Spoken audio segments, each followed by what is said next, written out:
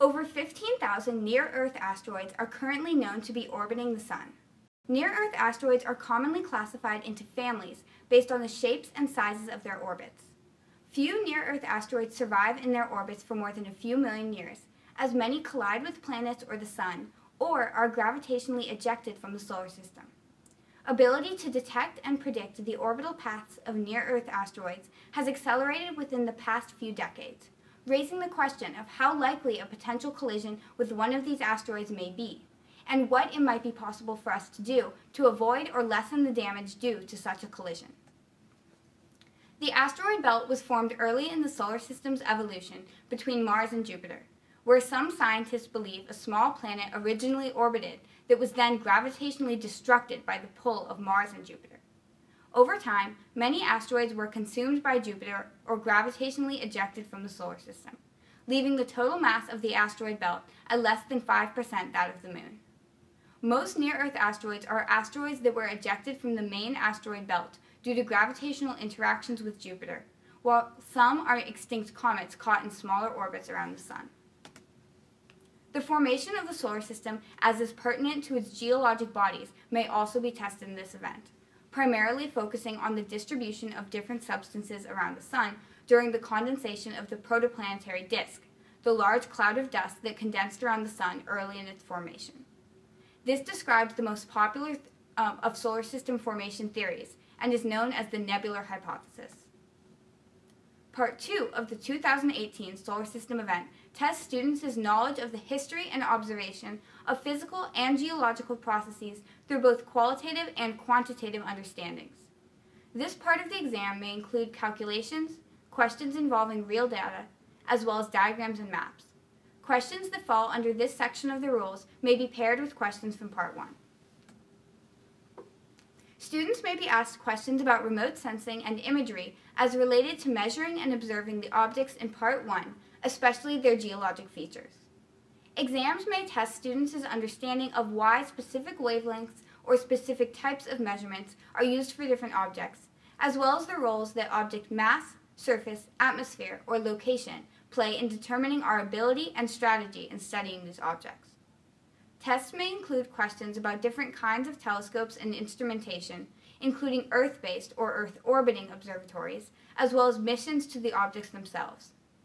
Example types of remote sensing that could be asked about are radar altimetry, spectroscopy, imaging in different regions of the electromagnetic spectrum, and gravity sensing. Exams may include questions on specific past, present, or future missions to study the objects included in Part 1.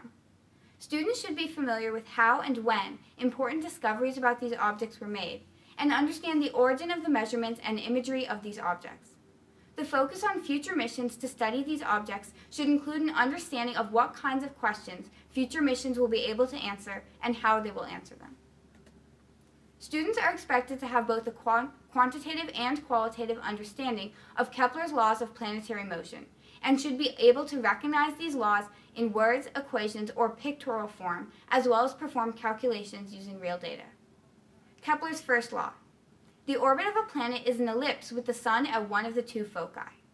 Students are not required to be familiar with the complete geometry of an ellipse, but should understand the basic principles of its construction and the relationship between perihelion, the distance of closest approach to an object, aphelion, the distance of furthest approach to an object, semi-major axis, the average of perihelion and aphelion distance, and eccentricity, the variance of an orbit from circular.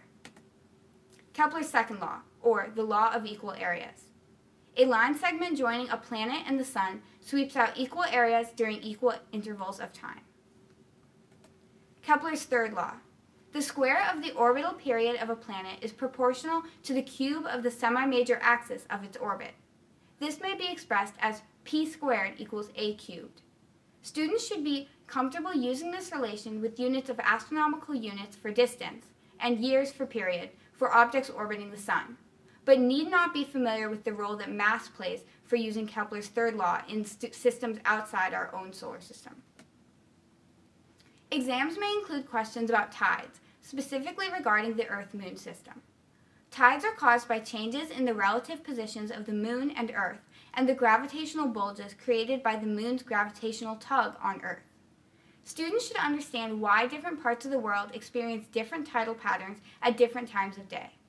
Students should be familiar with neap tides and spring tides, which occur when the gravitational forces due to the sun and the moon are perpendicular and parallel, respectively. Students should understand and be able to identify eclipses, both from diagrams of the sun, moon, and earth, and as observed from Earth. Solar eclipses occur when the moon passes in front of the sun as viewed from Earth, blocking all but the outermost regions. Total solar eclipses occur when the entire face, or photosphere, of the sun is blocked, whereas annular solar eclipses occur when the moon is further from Earth and its projection does not fully eclipse the sun. Lunar eclipses occur when the Earth completely blocks the sun from illuminating the moon, allowing only the outermost light from the sun to shine red on the face of the moon, when it is refracted around Earth. Students should be familiar with lunar libration, or the slight variations in the hemisphere of the moon that is visible to Earth. Questions may cover longitudinal libration, latitudinal libration, as well as diurnal libration, and what causes each of them. Longitudinal libration is caused by lagging of the moon's position relative to Earth due to the moon's eccentric orbit. Latitudinal libration is caused by the slight tilt of the moon's orbital axis relative to Earth's, and the variation of the relative tilt angle between the two bodies. Diurnal libration is caused by the motion of observers along the surface of the Earth as the Earth rotates, meaning observers experience a different view of the moon as they move relative to Earth's center. The phases of the moon and what causes them are also included in Part 2. The lunar cycle and the relationship between the phase of the moon and what time the moon rises and sets each day may also be tested. For example, this diagram shows a full moon among other phases. Students can infer based on the position of the sun, moon, and earth that a full moon rises in the evening, reaches its highest point in the sky at midnight, and sets in the morning. Regolith is a general name for the fine material that makes up the surfaces of geologic bodies in the solar system. Students should be familiar with processes like weathering and cratering that generate regolith on the surface of these bodies, as well as the composition of regolith, including whether or not it varies across the surface of the object and how scientists determine its composition. Cratering is one of the most significant processes in the solar system with regards to shaping the surfaces of rocky bodies. The size and age of different craters can inform scientists about when and where significant cratering events, such as the late heavy bombardment, occurred in the history of the solar system. Lack of craters, such as the surface of Io exhibits, can inform scientists as to how fast new surface material is being generated. Volcanism and weathering are two important geologic processes that shape and recycle the surfaces of geologic bodies in the solar system. Volcanism on Venus, Mars, and Io may be compared and contrasted. Weather from atmospheric dynamics or fluid flows on the surfaces of the objects specified in Part 1 may also be included. The atmospheres of the objects included in Part 1 of this event are important both in contributing to the surface characteristics of the objects and in determining how scientists can study them. Different atmospheric compositions, temperatures, and dynamics determine which wavelengths of light and what methods of remote sensing can be used to study the surfaces of different objects.